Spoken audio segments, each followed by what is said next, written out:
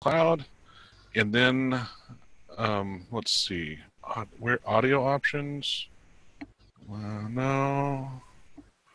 Oh, I think it's under participants. That's what it is. Well, that, this tool is is great, but it's so great that it's it's confusing. So bear with me for a second here. Manage participants. Here we go. Ah, here we go. Unmute all. Oh, that wasn't what I should have done, is it? All right. Uh, unless people wanted to be unmuted. There we go. All right. Now I've said it where where everyone is muted, but you can unmute yourself. Um, at least that's the belief. So if you have a question, want to comment, say something we forgot, hit us with it.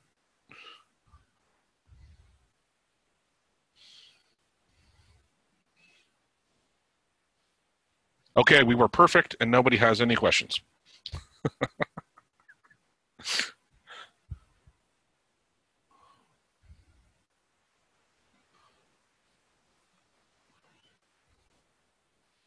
Anybody want to say anything in the chat? They're stunned in silence.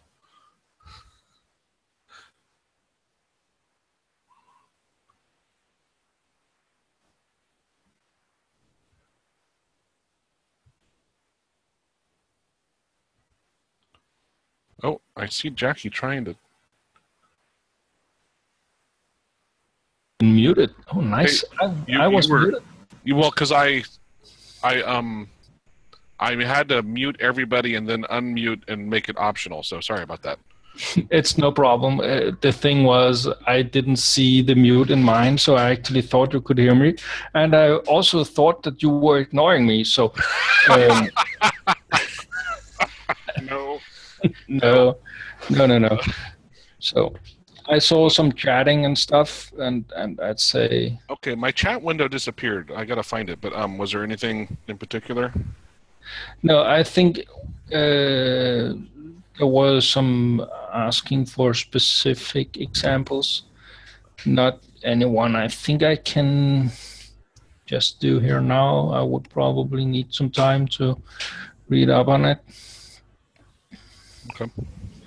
Uh, sorry, I've only just joined about 10 minutes ago. Did you say this was recorded? It was. Yeah and yeah, someone is already answering it. So yeah, we can't even keep up with the chat.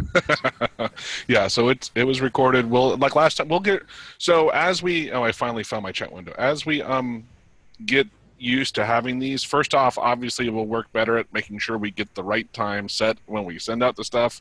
Um, but then also the um getting the after recording, you know, getting that out earlier with the resources and things, and just so if you guys have questions, um, you know, we're, we we both work full time and we're doing this for fun, so bear with us, but we'll um, make it available as um, soon as possible and try to get better at doing it faster.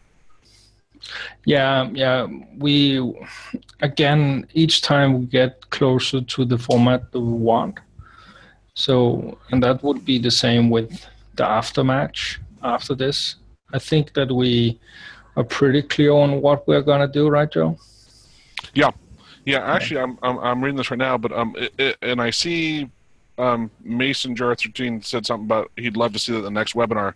I'm trying to find what he was asking, but my point being, when you got if you guys have topics you want covered, something to learn, right? Ping us, let us know, um, and then we what we'll do is just basically say, look, if it's uh, if it's really we think it's really niche, maybe we'll do a one-on-one and talk it through. But if it's if it's something that will have a broad appeal, then we'll um, we'll have it as some sort of a feature or something. Yeah, again, we we are very happy to um, have uh, guest speakers or whatever you're gonna call them. Uh, so if you have something that you think you can contribute, you're very welcome to contact any one of us and uh, let us know. And we'll we'll also be happy to co uh, something with you, whatever it might be. If you just wanna maybe bounce something off of us, we are also ready for that. I'm getting a lot of sounds. It's is that on your end, Joe, or is it's just the system that's saying it? I I don't. I'm not getting a lot of sounds. Yeah, might just be my setup then. Um, yeah. So anyway, I see Moz when uh, will the link be posted? It'll We'll. we will email um, after we, what we'll do is we'll put it on our sites and then we will um, send out links via the email that if you're subscribed to this the the webinars you'll get it that way or you can go to either of our sites um, and get it there and at some point we'll probably put it on the the um, forum um, Yeah, I created the off-topic one. Remember that one, Joe? mm-hmm. Um, I'll I'll put it in that one as well. Uh, edit it in, put in the links for the pages on our sites. So so it's easily accessible. If you're used to just going to the forums, you'll be able to find it there as well. Um, we won't put every all all of the content there, but we'll at least put links there so people can find it if they want to. So yeah, it's interesting. A lot more people actually unmuted themselves the last time. yeah yeah we were we were kind of expecting you guys to talk um, which we're you know we're fine either way i mean i'm just teasing Yeah, people can can do how they feel, but but yeah, if they don't have the needed setup anyway, they right yeah Yeah, the, the nice thing, which which is I think most people here, I'm sure you guys mostly are on the forum. Um, the the attitude and, and understanding we're all in different learning places. We've all been there with just your using your first hot key or hot string, and a lot of people, Jackie and other people, are way above me as far as programming wise. And you know, just you, you understand we don't don't feel embarrassed. Don't worry if you're you know before, and if you're above, please feel that you can uh, you know lead something even if you don't lead it talking wise if you want to write something of an outline tutorial then we can talk to it that would be awesome too yeah yeah. Uh, is there a DLL call for recording audio from mic? Oh, that's a good question. There probably is because you can record audio from mic. There is probably a DLL call to do it. But there is but there's also some great um um, there's stuff for the what's it the Windows Media Player as well as some other stuff that you can you could also tap into right so there's a lot of different ways you could go about recording it Yeah, yeah, for sure. There, there is, and you can also call uh, download mm, third-party DLLs to do it, and mm, command line programs that will allow you to do it. And there's a lot of ways to record uh, sound from a mic. Uh, you don't even need to use DLL call to do it.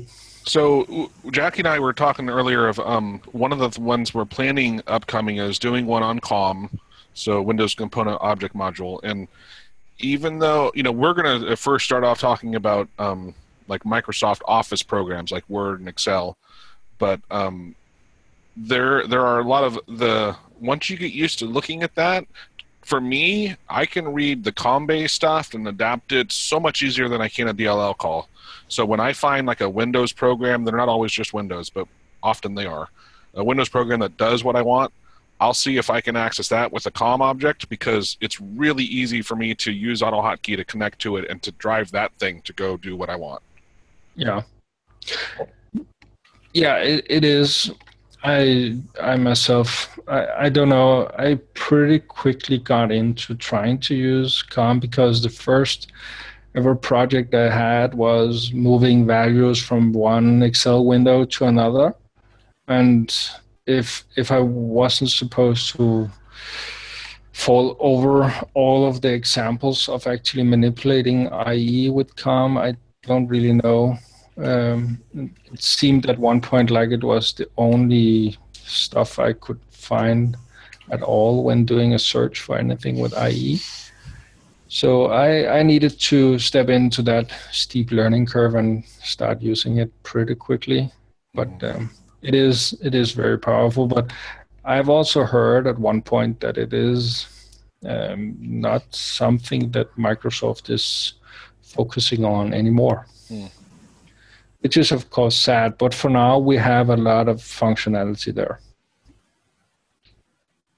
But I think, did you say the, com- the component object module? Was that what you said? Yeah. I think it's the model, right? Model. I always say module. You're right. It's model. It, it Yeah. Yeah. I think, and and you must not really put too much into that. But I th- remember reading that COM is actually a model of how you structure stuff in memory um, so that it's easier for other programs to know where to look. And therein comes the model. Interesting. So it's, it's a model of a way to to structure your your stuff in memory. So, so, so for those of you still on here, like I when I first started, especially do because I started off with web scraping instead of doing stuff with Office, which I wish I had reversed that because web scraping is so much more complicated.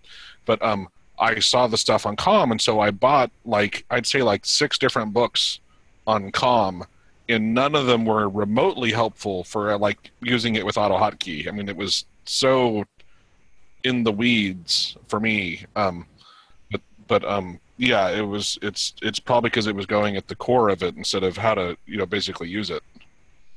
Yeah, I know that there is a function by I think it's it's a tutorial somewhere on the old forum by Isnal, I think it is, where he talks about using um, uh, DLL with DLL calls to do COM at a deeper level than oh. that I've ever done, mm-hmm. and his understanding of it of the concept of it is just so profound compared to to what I'm.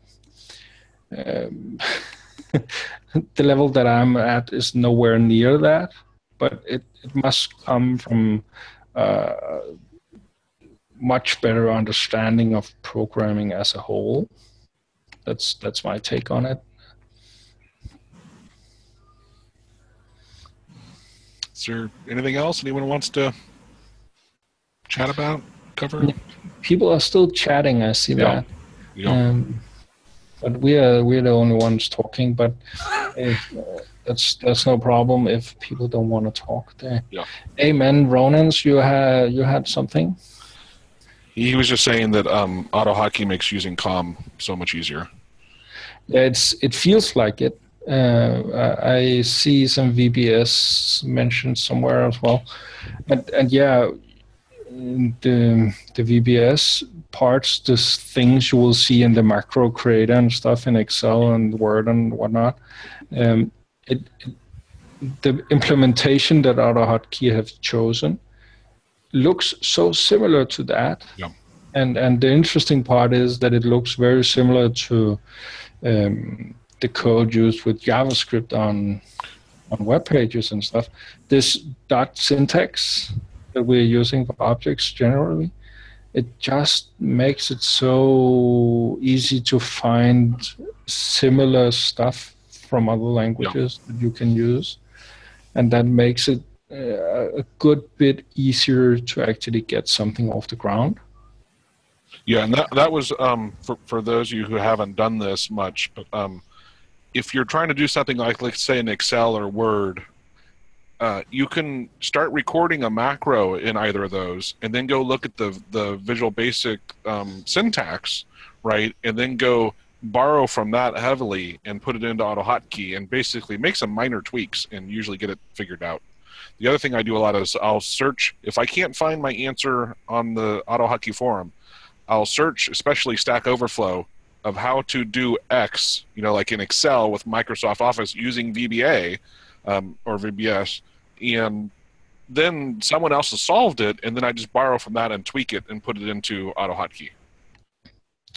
Yeah, yeah, I'd say that that using this uh, macro recorder in Excel or whatnot uh, actually makes a lot of sense. And I, just while you were talking, I, I remember that when I started using AutoHotkey, the download came with the, um, the macro recorder this very simple script recorder that, that would only it would record Windows titles and it would put a static sleep between everything you did. Um, that was about it. It had no deeper functionality or anything.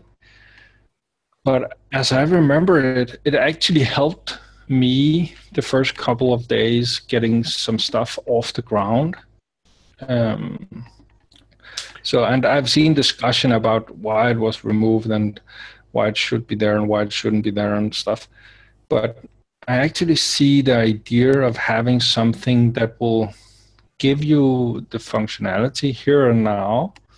And then over time, you simply just extend the sleep or you put in another key. And, and I think that could still be helpful.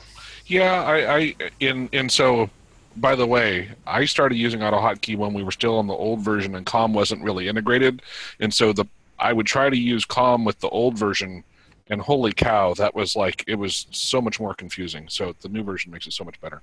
But um, I would try to use that macro recorder you're talking about, and it was amazing to me at how much extra stuff that it would put in there.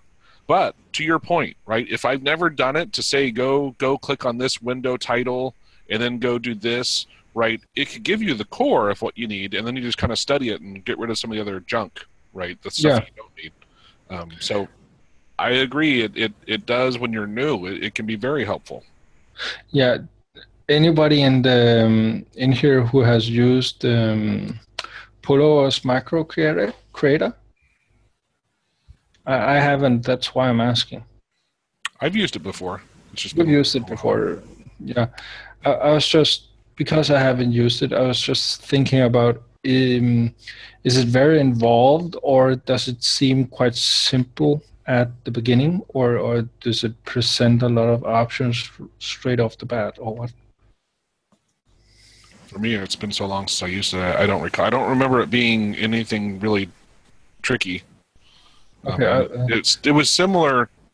Um, it seemed to do a bit more than the original one that you were talking about.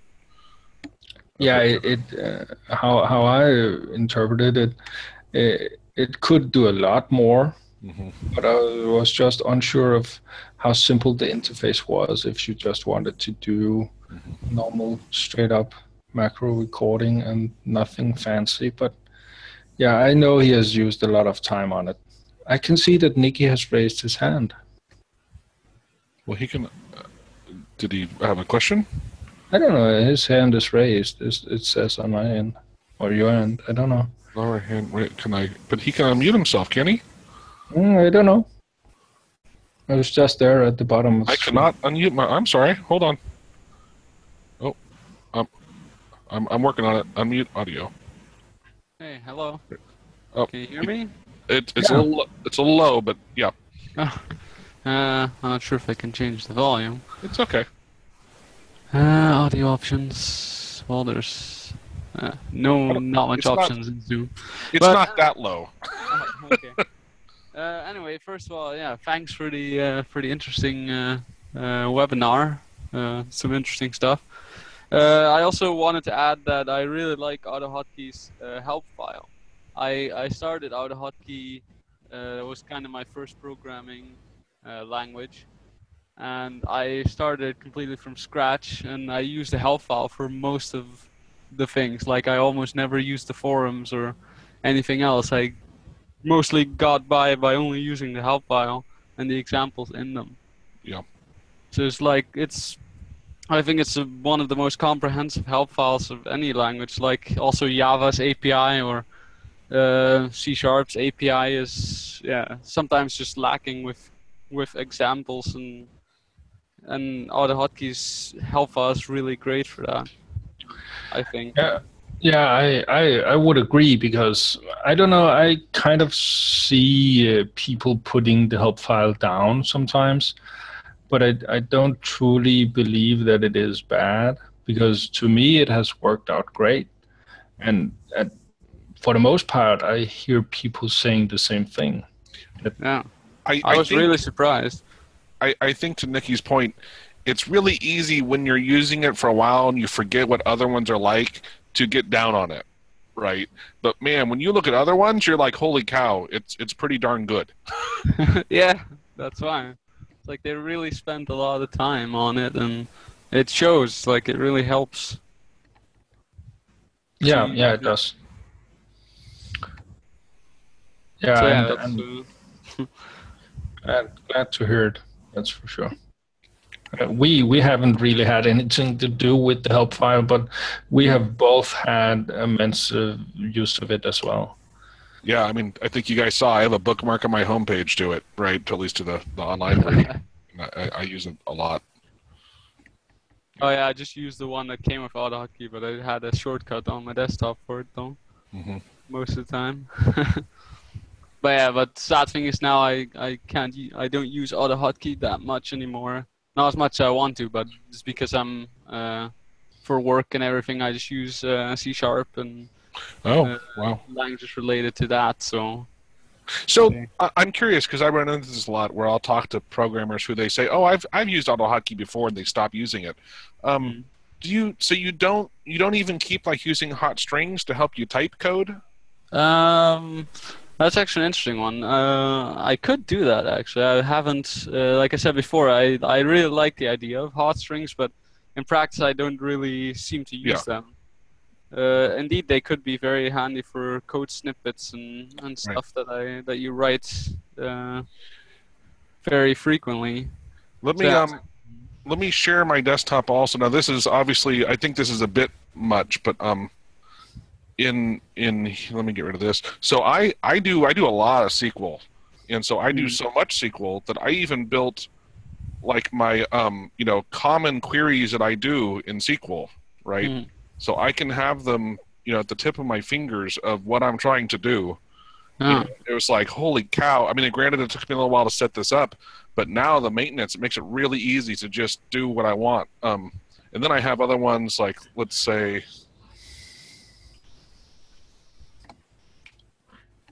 Well, I misspoke, but I have some that I can just hit a key and, and put them in. So, so for like an in list query, right? Um, Hmm. And I have other ones that'll truncate it, some that'll wrap it with percent sign, so I can do matching patterns. But Hmm. just that's what I'm like. Even if I didn't use AutoHotkey in so many other ways, like for web scraping and stuff, because I do a lot of programming in SPSS, which is for statistics, and then Mhm. SQL, that like I'd still be using it for the just that aspect. So Yeah.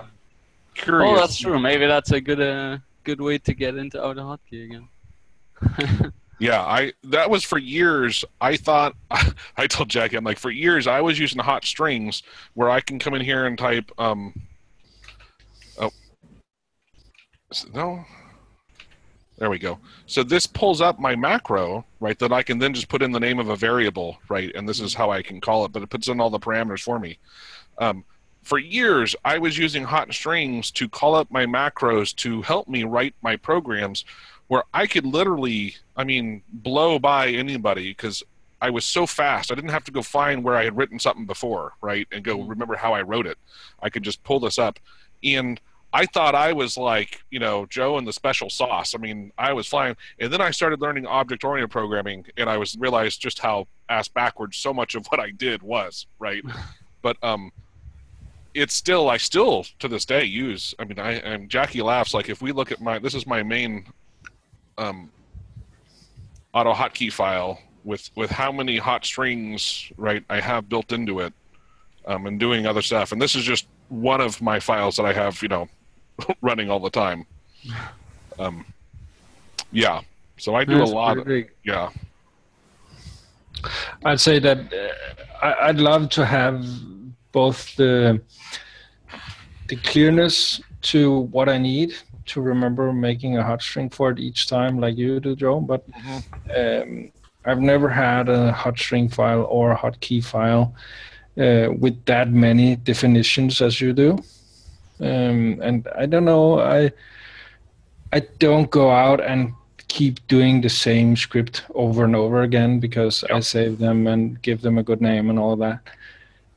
But I don't really have a consistent file that starts up with Windows that that has something without a hotkey in it. Um, I don't know why, but I just don't.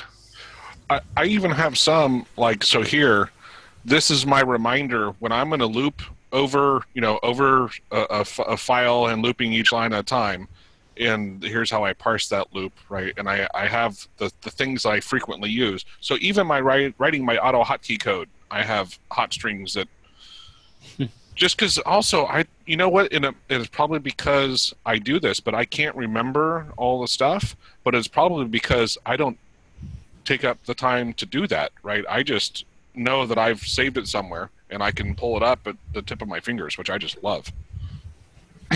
Yeah, but I think the only downside if you have like a lot of hot strings, I think it's gonna be hard Absolutely. remember, like, Absolutely. Okay, which hot string Yep. did the thing So- I want right now again? Right. And that's why if you look like a lot of mine, I'll I have patterns, right? Especially like if we get into email addresses or the I was trying to think of my HTML stuff. Um, because I couldn't keep them straight. And so I started developing patterns to them, which really helped. Uh, but even then, to your point, I had some that I had so many, and that was when I said, you know what, I'm just going to build GUIs that will call up and do, you know, will put them in for me. Yeah, that's uh, very 'Cause I handy too. Yeah. But those, you know, for me especially, those take time to build. Um, Mm. so. Yeah, I can Yeah. imagine, but I think it would be handier uh, to if you have a really a l- big list of stuff. Yeah. Probably be handier than having to remember what what was what. Yeah. Or remember where you saved that certain thing you did. Um, yeah. Or it depends, of course, how many times. Like I, a lot of these I use, you know, a dozen times a day. Yeah, So well, it's you won't just, forget those. that's right. Yeah. But but even then, it's like I want them at the tips of my fingers, where I don't want to go find a file and do whatever. Hmm. Yeah, I'd I'd say that sometimes it can be something simple that comes up during my day. I need to put in um, a simple value a couple of times or convert something and put it in on different screens on a web page or whatnot.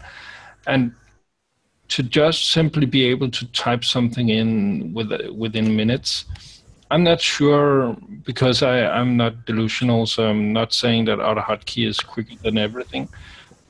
To me, it feels quite fast uh, for me to develop something that I can use just for this one thing.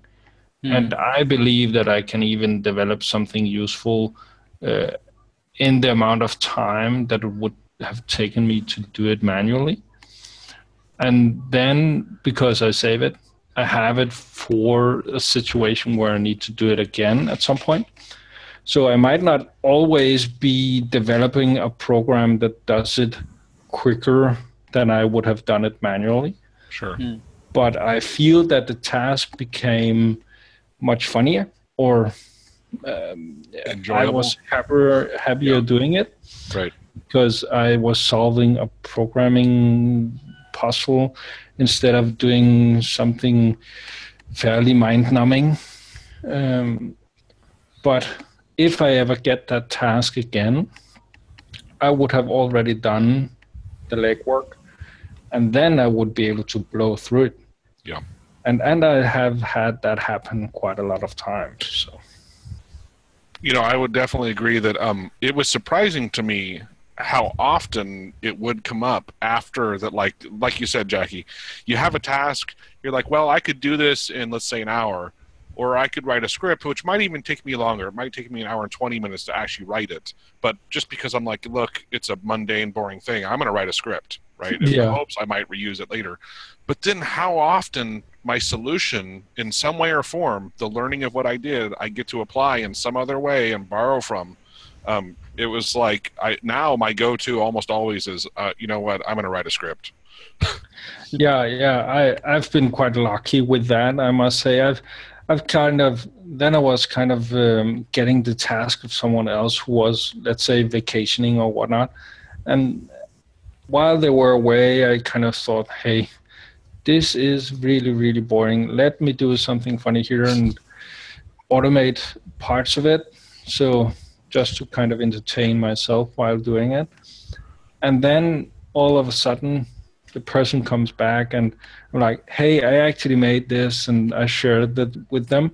I was kind of, oh, really? And I've I've actually got both a promotion and a raise from from doing that often. What, No. what I'm really laughing at, Jackie, is is it's so funny to me that that is their full time job, right? They've probably done for years, and you're going to do it for like a week, and you're like, oh, I'm so bored with this, I got to automate it, right? Yeah. You know, and, and then it just changes their, their life. Or like you said, you're you know you get a, a you know hopefully your company instead of like I've run into where they're like, why would you do that? Oh, that's don't do your time on that. Oh my god. Oh yeah, I got that as well. I, I've I've had that situation as well. So where where they kind of because they they truly don't understand that they, they think that you're doing something else but the work. So they think that you're using your time on something that doesn't benefit them. Mm. And and to me, automating the task that I'm doing, I'm not gonna automate it so they can fire me. Uh, that's that's not the idea. The idea is to automate it enough to not really make it mundane for me. Hey, Joe had his hand raised. I just noticed I, I unmuted him. I swear I set this to where people can unmute themselves. But anyway, Joe, did you have a question, comment? Yeah, let's talk about other languages. As uh, reminded me of a question that has been floating in the back of my mind for a long time. If you're a software developer developing what you hope to be commercial applications, do you think AutoHotkey is a good language for that, or should you use what I've heard other people refer to as a, a real language, like uh, the one Nikki mentioned, C Sharp, or uh, any or maybe even VB for that matter, any .NET language or uh, C++, of course, or anything in, in more in the realm where you can actually do a real compiler as opposed to the conversion that the uh, so-called auto hotkey compiler does and other issues surrounding the fact that it's a purely interpretive language. So I guess the bottom line question is, can you do commercial, w- would you recommend commercial software development be done with auto hotkey? I'd like to say something at least. I I can't say for sure what you should do and what you shouldn't do. I I'd say I have done commercial stuff. Um, I've had no issues, and I know of no one actually taking the time to crack it or convert it or steal it or whatnot. I kind of feel like I'm saying a whatnot a lot, but hey, um, but I can't say if you should or shouldn't do because because it's an open source uh, language, and as you said yourself, the the compiling isn't really a compilation. It's it's just packing the AutoHotkey uh, binaries with together with the script and and packaging those into a, a single file. Um, so so there's no real security there and and one of the surefire ways to always be able to get out the source is I can't remember what they call it, but I think it was the payload method, which allows you to get it out on almost any situation. I think that Hotkeyit has made something new with the um, the hotkey DLL that that might be making it um, less likely to be um, cracked or what you want want to call that. Hey Jackie, uh, just interrupting a second there. I'm not actually all that concerned about people stealing it, you know, cracking it, reverse engineering it, um, and yeah, there is you can do code obfuscation to some extent if you want, and, and I realize there's ultimately no real protection because it's an interpretive language, but I'm just more concerned uh, about the overall infrastructure of AutoHotkey and more along the lines of professional development in terms of having libraries and uh, reusable code and so on is is uh, to that extent is AutoHotkey uh, okay to use as compared with say a, a you know, C++ or a .NET language the um, the source of AutoHotkey is C++, if I remember correctly, and and of course, as you said yourself, it's it's interpreted, but it is a stable language. Doesn't have much uh, many issues anymore, so so you won't be making programs that are failing on you at least. Um, and I've heard some people talking about it being a little hard to um, co- collaborate on making large AutoHotkey um, projects. But other than that, I, I don't see why AutoHotkey would have a problem there. So uh, um, let, let, me add in. So so first off, in which you were you know kind of alluding to anyway on the security thing is no matter what you program in, right? There's always some security risk, right? Um, yeah, but but he wasn't really concerned with Birdie. I know. Yeah. I'm just saying, it, no matter what you do, it does that. It's kind of a moot point to me in the long run. Um, the availability of other existing libraries, right? Like that was one of the things I liked about Python when I started learning Python, but at the same time, it was also there were so many libraries and not a lot built into it. Um, it's it's it's good. It's just also it's um, you know it's a big step to start learning how to use all of them um, and evaluating them. The the one thing I would say is you know it gets into the speed of auto hotkey, and that one gets into like hey what you're planning to do is it going to need millions of calculations right over and over um, if that's yeah. the case probably AutoHotkey is not the right thing but mm. i always take into account the um, speed it takes to build the program in the first place as well right which for me it's it's really fast in AutoHotkey compared to in other languages AutoHotkey is has been benchmarked a couple of times, and it it's it's up there. Yeah, but I'm just saying if he's doing a big data science thing, it, it's probably not the right tool for the job, right? I mean, yeah, I, most people would say if you read the forums enough, uh, use the right tool for the job, and and I'm not saying that AutoHotkey is always the right tool for the job. I'm I'm kind of with you on that, Joe. That it if it is truly faster to develop stuff in AutoHotkey, and, and I sometimes feel that it is, uh, small enough projects, yeah, keep it in AutoHotkey. But if you're doing something really large, or if you want to mm, have commercial applications for your stuff, and you want to go, let's say, mm, mobile, or you want to go cross-platform or whatnot, AutoHotkey is truly not the thing because it's only Windows, and and that's that. It, it won't change. Not, not. Having said that, um, just so you, I don't know how much this uh, happens for you, but um, I, I've used it on you know Windows 8, Windows 10, Windows 7 across uh, a lot of different computers at work and at home, and I give it to my colleagues at work. And generally speaking, it's pretty stable in the different environments, and you don't run into too many random issues. It's more likely the the user access control where I have my little hiccups on things. What language when you guys want don't use AutoHotkey and you want to do something? Um, I think you use use the word of computer science earlier. So was, in any event, what what language is your language of choice for when it's not AutoHotkey? So so actually that um, let me tell you about four years ago I, I got tired of hearing from from other people and my boss and, and stuff that like nobody uses AutoHotkey and so i wanted to get some credibility as having a clue as what i'm doing. So i started learning python right? And everything i would do in AutoHotkey i would say all right let me do this in python. And after time after time, like I could do all, all, not everything, but close to everything in Python. And of course, Python does other things better than AutoHotkey.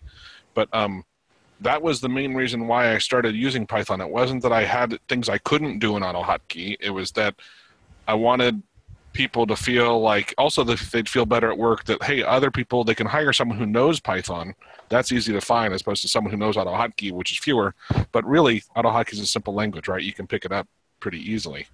Um, so Python is the one I learned for a while, but then I stopped really learning it because I realized, you know what, I can do everything faster and easier in AutoHotkey than I can in Python, and so I stopped using it. okay, fair enough. Yeah, I I say I'm I'm no uh, programmer by trade. I, I do a lot without a hotkey. I've also dabbled in Python and C++, and I've also done a lot with the website of stuff, HTML, CSS, and, and those JavaScript and whatnot. But I haven't done enough, and I've not run into any kind of walls with AutoHotkey compared to my usual work where I use it most. So, so I, I wouldn't be able to guide you what you should do and what you shouldn't do because for the most part, I can do it in AutoHotkey, and, and I'm happy with that. Okay, fair enough. Thanks, guys. Yeah. Anybody else have anything? No, not really. Um, great questions, Joe. Yeah. Yeah. Good stuff. Is was there anything else now that we have time? Um, is there any other questions on the DLL stuff that would help to finish up on? I know we kind of jumped out of it, but it, it really is kind of a as your need arises, you go to look at something and then you have to dive deep into it. Yeah, uh, uh, as long as you've asked for questions, um, I tend to do a lot of calls of uh, command line executables, EXEs, as opposed to DLLs. And I've written just a ton of, uh, of code that calls things like the XPDF utilities, which are a series of nine great EXEs uh, that to manipulate PDFs. I, I do a lot with in the document imaging business. That's been my field for a long time. So do do things with PDF files and TIFF files.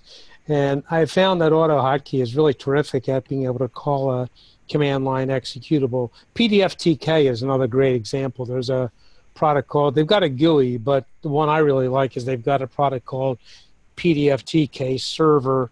Um, and at first you might think it has to run on a server OS, but it doesn't. It just I don't know why they called it that. It runs on any Windows, and so all you have to it's just an exe with a supporting uh, DLL. Um, libiconv2 is a DLL that supports it with, and all you have to do is have those two files, the exe and the DLL. Now you don't call the DLL directly; you call the uh, PDFTK exe and you can do that from you know, using run wait in AutoHotkey, and it, it works really well.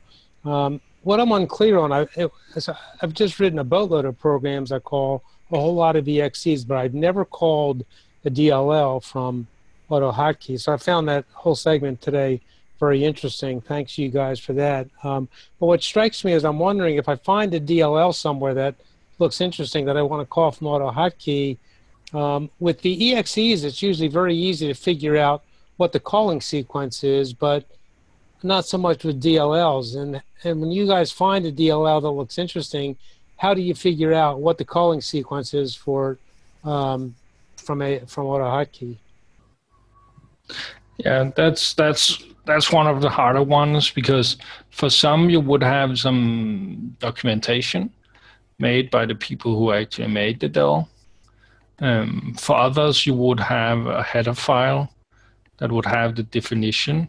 So you would be able to go and, and look in the DLL and actually see what's in there. So you could see what parameters it needed and stuff like that. But it, it depends on what you are able to read. If if you can't read the code that the DLL is written in, it's hard to actually interpret it into anything. And actually, well, one thing you said that really interested me. I, I had no idea that DLLs could be source code. I, I thought DLLs were always compiled object code. Um, no, not necessarily. No. Ah, interesting. Okay. I'm I'm trying to find it. I had an also a DLL viewer that would, you know, depending on what you're looking at, would would show you some of the information in it. It it it at least gave you an idea of the functions that were available.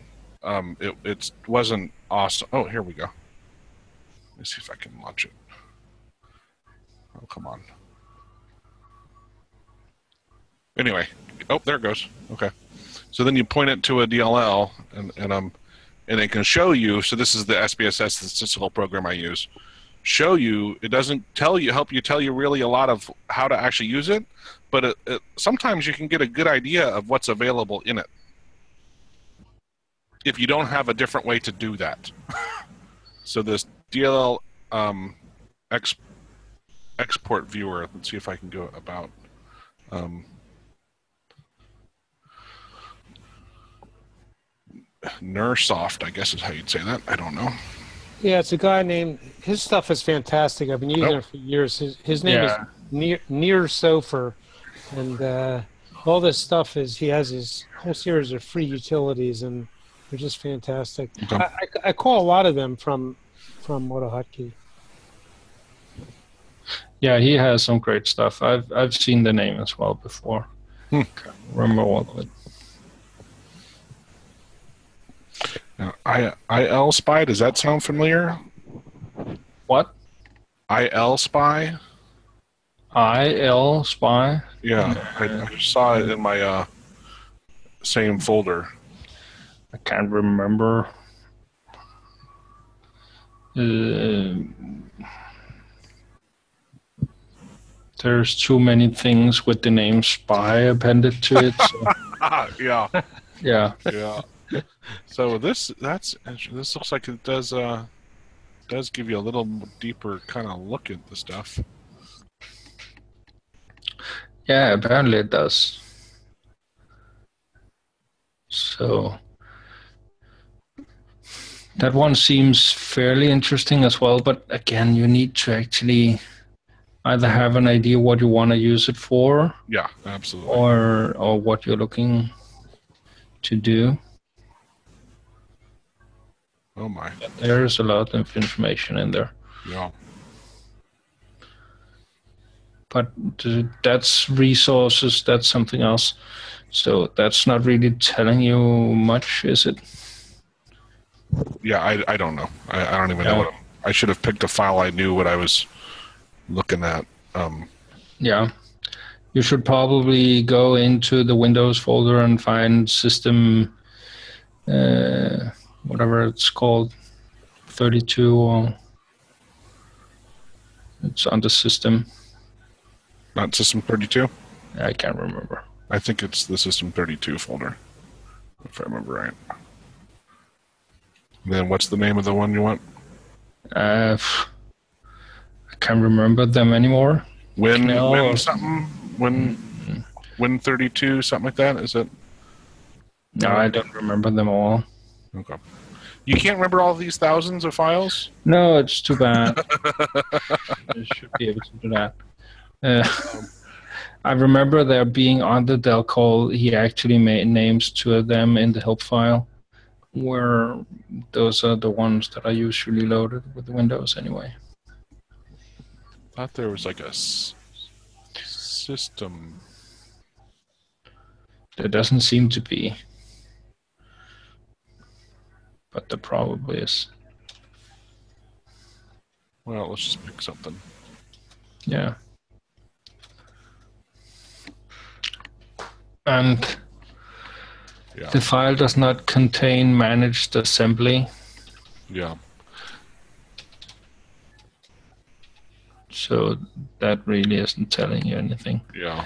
Uh, So who knows? The, um, the IL spy only is able to interpret managed assembly for you. Hmm. As you can see, that's at least what it's saying itself. So Mhm. again, it can only view specific formats of Uh huh. files. All right. Well, I wasn't sure what it was. I just got a bunch of these things. Yeah, Apparently, at user some point, 32, that's right. I, I looked at so this DLL viewer, IL spy. Yeah, I think the rest are actual DLL stuff that I had. Not they're not viewers. Yes. Yeah. People in chat are, are talking as well, so. Oh.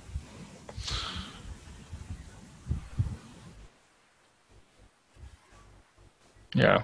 MSIL.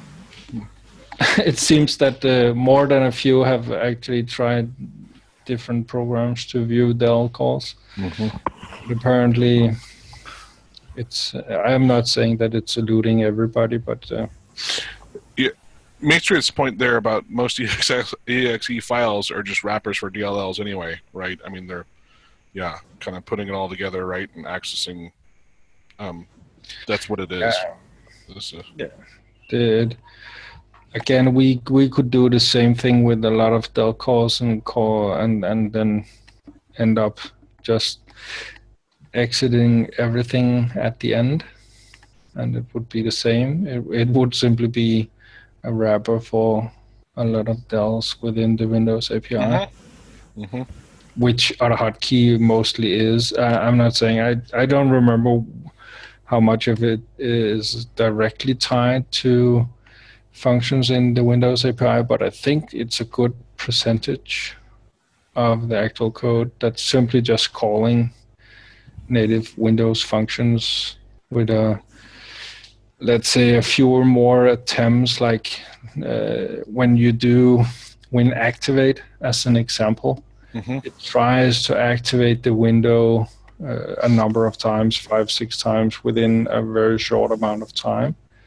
And i don't think the function natively does that. I think that's built into AutoHotkey hmm. but it's still calling a windows DLL somewhere that's activating a window. But the AutoHotkey command is just doing it a few times to try and make sure that the window is activated. I think that's that's where that's what we're getting by using AutoHotkey. These things that are mm, extending the functionality of, of what you would have access to normally. And that some of that comes from simply having users using a command. And if WinActivate doesn't actually activate the window, when people use it. The noobs start saying so in the forums, and now it's Lexikos. But Chris once once once upon a time he probably built a lot of extra functionality into all of these commands mm-hmm. just to try and make them even more noob friendly. Mm-hmm. This is just me dreaming up stuff. I don't know any of the fact. Well, I mean, that's often what a, a, good wrapper is doing, right? Is kind of simplifying what's in yeah, of course all right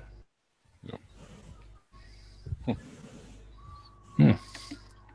you're not really finding anything that hel- that's helping us right again that's that's why it would be great to have someone who was used to doing this but uh, yeah I don't well, especially, that. and that was the one where, where I alluded to that I get caught up in DLLs. It's like when you start looking at the MSDN website of like okay here's a dll i want to use and then understanding like how you went through understanding the the uint or whatever it is what do you need to pass there? And um yeah i get very confused in that but yeah but i i must say again with the message box the one that we did this time uh, it was fairly straightforward.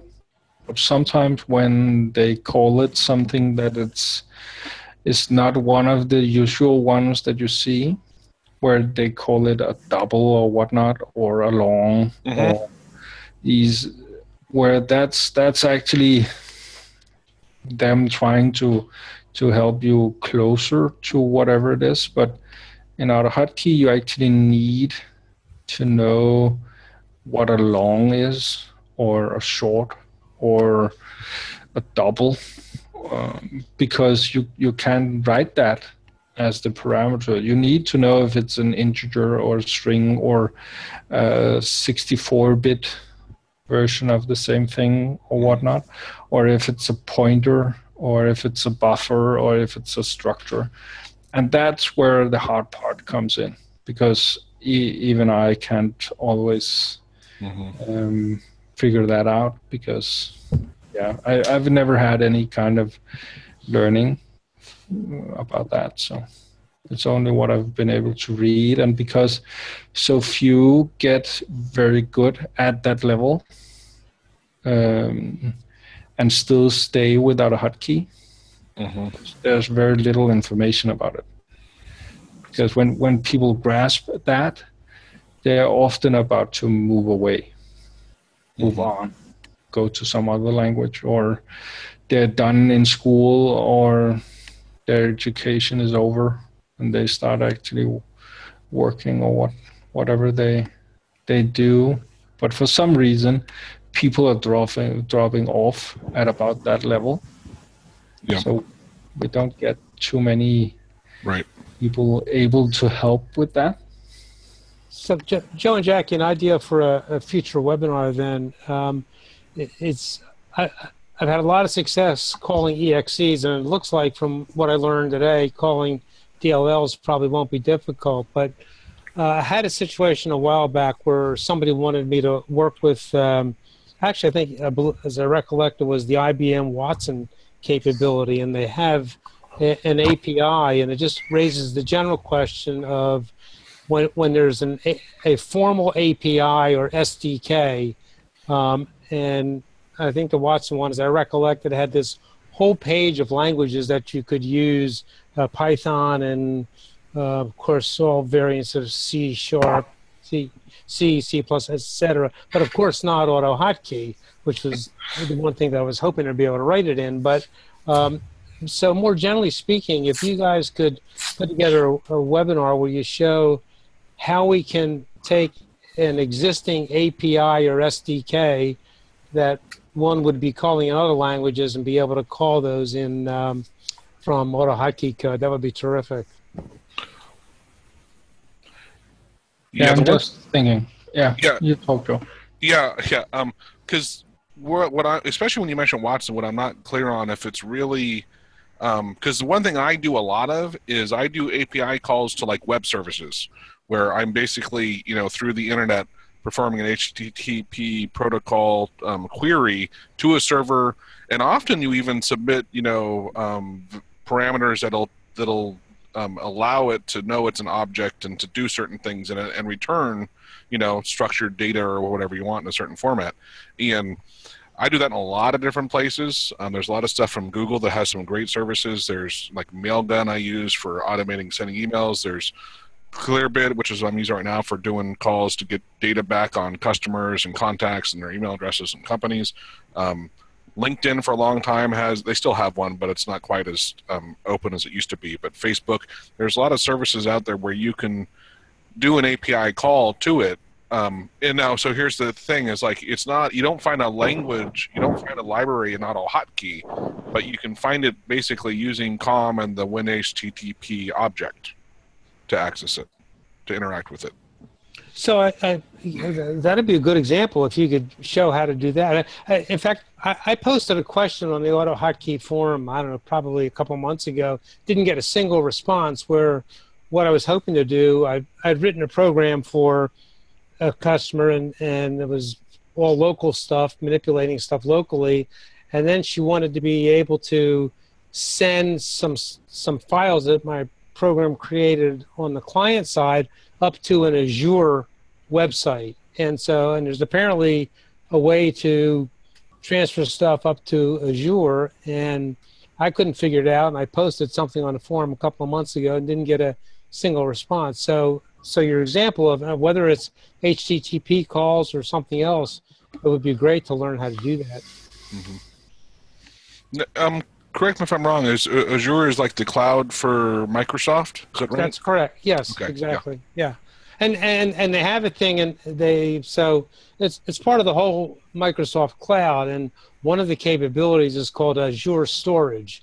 And so I was creating a whole bunch, you know, back to the thing I usually do with PDF files. I was creating a whole bunch of PDF files, having analyzed them and split, combine all kinds of stuff. And now I'm sitting there with a whole bunch of files, and she really wants them up on her website. And so in Azure Storage.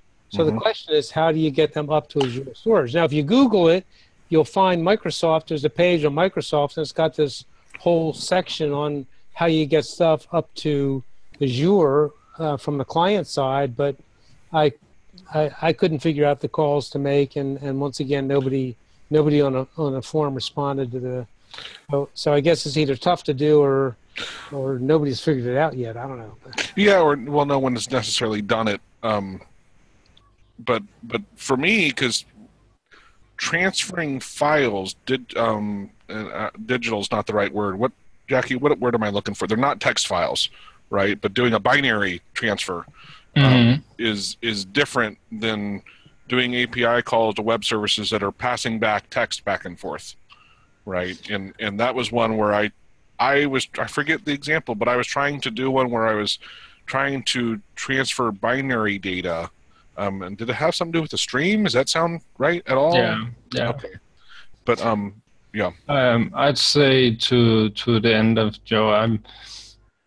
I can't say for sure. I haven't seen your topic. I, I see most, but there is a few things that I don't have the time or others may not have the inclination to to work out. and one of the ones that I see still missing on the forum is the way to do some of these uh, authentications over the web. Yeah. Yeah. Um, OAuth 2 as as an example. I've not seen anybody uh, make a, a working. I might there might be one, but um, not many have actually succeeded. But uploading some files, and that depends on the API. Some APIs allow you to upload an entire file with a simple command, and others need you to do it in a stream, as we talked about, Joe.